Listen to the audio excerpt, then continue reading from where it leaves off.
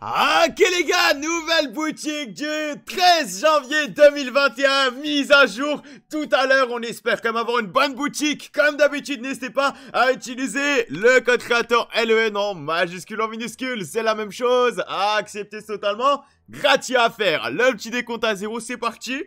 Peut-être une surprise, on sait jamais.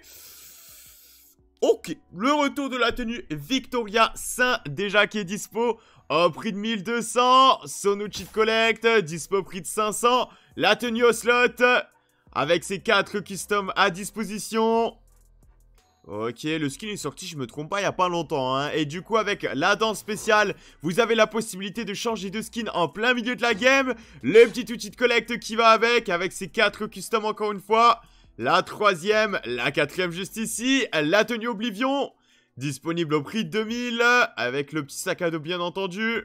Ok, jusque là c'est bon. La tenue Criteria, dispo au même prix, 2000 V-Bucks.